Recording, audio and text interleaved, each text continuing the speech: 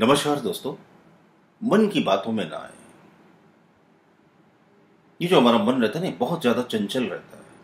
ये आपको सारी ज़िंदगी नचाता रहता है, घुमाता रहता है, परेशान करता रहता है। कॉन्ट्राडिक्टरी होता है प्लस और माइनस में जीता, आ और ना में जीता। है तो मन से कैसे बचे से बचने का उपाय क्या है? इसे कहीं ना कहीं, किसी न किसी धंधे पर लगाना पड़ेगा। मन एक ऐसा प्रेत है, या तो इसे काम दे दो आप, और काम नहीं दोगे तो आपका जीना हराम कर देगा।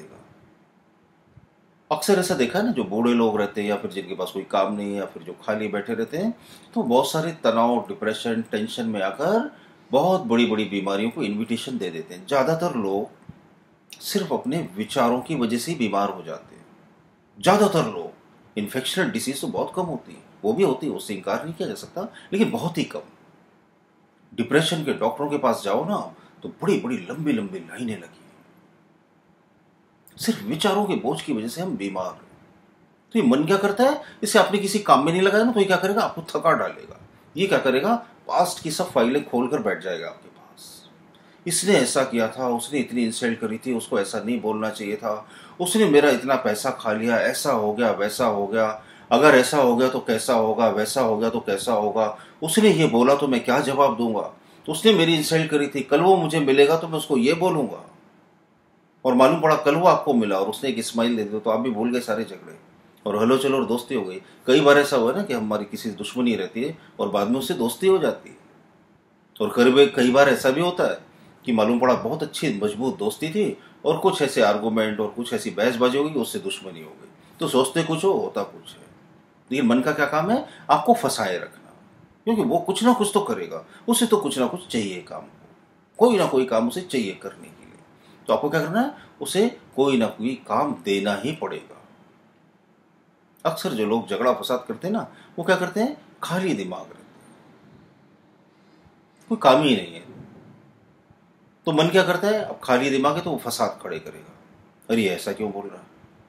फिर वो दूसरे की कमियाँ देखेगा, क्वालिटी नहीं देखेगा, गुण नहीं देखेगा। इसको ऐसा नहीं बोलना चाहिए, उसको वैसा नहीं बोलना चाहिए। गवर्नमेंट ऐसी है, गवर्नमेंट वैसी है, ये मज़हब अच्छा नहीं, वो मज़हब बुरा। लेकिन जो आदमी बिज़ी रहता है ना, उसके पास झगड़ा करने का टाइम ही नहीं रहता भूल भाल जाता है वो। फॉर एग्ज़ाम्पल जैसे अभी आपसे मेरा आर्गूमेंट हो जाए, कुछ कमेंट वमेंट में हो जाए चैटिंग वेटिंग में फेसबुक पर, जैसा अक्सर ये रोज हो जाता है। सोशल मीडिया से भी आजकल बड़े बड़े झगड़े खड़े हो जाते हैं।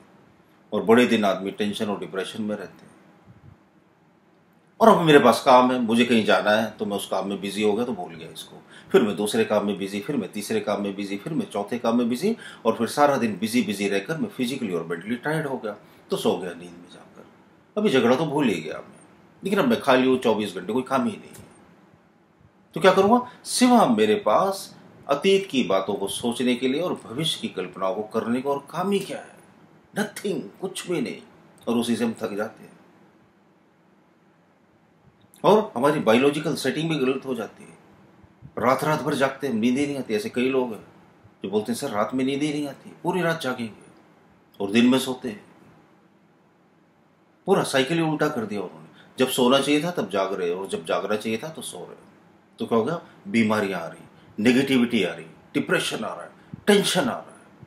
प्रकृति से जितना दूर जाओगे ना, उतने ही दुखों को अपने जीवन में इन्विटेशन दे दोगे। नए नए दुख आएँगे। वो आपकी समझ में नहीं आते क्यों हो रहा है ऐसा। वो आपकी वजह से हो रहा है।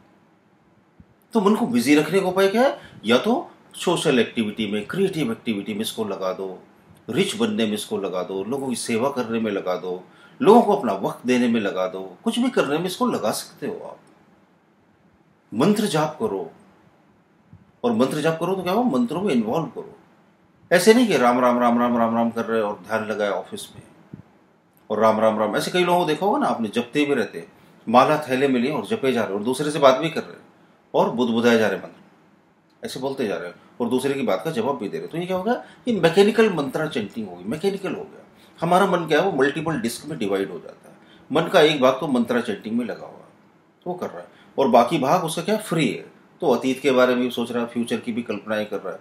तो क्या हुआ? इस मंत्र चंटिंग से कोई फ़ायदा ही नहीं होने वाला पूरे मन को समग्रता से वहाँ पर लगाना पड़ेगा आपको। अगर करो तो ठीक से करो करो तो दिल लगाकर कोई काम करो तभी रिज़ल्ट मिलेंगे। या फिर मेडिटेशन की कोई विधि सीख लो आप। उसमें अपने मन को लगा दो आप।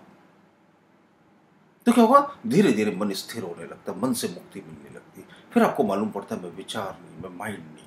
माइंड कंट्रोल में आने लगता तो अपने माइंड को ज़िंदगी भर क्रिएटिविटी में लगाए रहो, ज़िंदगी भर सोशल एक्टिविटी में लगाए रहो।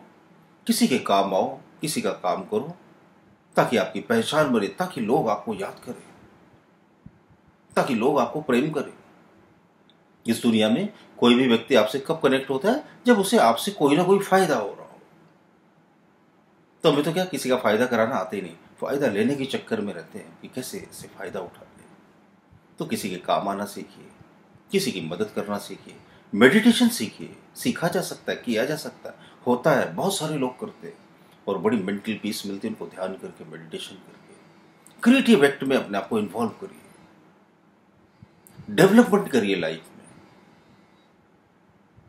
माइंड को कहीं ना कहीं एंगेज रखोगे ना तो आप देखोगे नींद भी बड़ी गहरी आई फ़िज़िकल एक्टिविटी भी करिए। तो और मेडिटेशन को जब सेंट्रल पॉइंट बनाओ लाइफ में, यानी कि मेडिटेशन तो होना ही चाहिए। दिन में दो बार करो तो बहुत ही अच्छा है। और दो बार नहीं कर सकते तो कम से कम एक बार तो करना ही चाहिए। दो बार करोगे तो बहुत बेहतर होगा मॉर्निंग आवर्स में और इवनिंग आवर्स में। फिर थोड़े दिन के बाद देखना आप क्या फ़र्क पड़ता है। मेडिटेशन के बहुत सारे वीडियो मेरे चैनल पर हैं। जो भी आपको पसंद हो, उसको आप कर सकते हो। बहुत बहुत धन्यवाद जो इतने प्यार से मुझे सुनते हैं। वीडियोज़ अच्छे लगते हैं तो थम्स अप का बटन दबाकर लाइक कीजिए। कमेंट बॉक्स में कमेंट कीजिए और अगर अभी तक चैनल सब्सक्राइब नहीं किया तो ज़रूर कर लीजिए। बहुत बहुत शुक्रिया।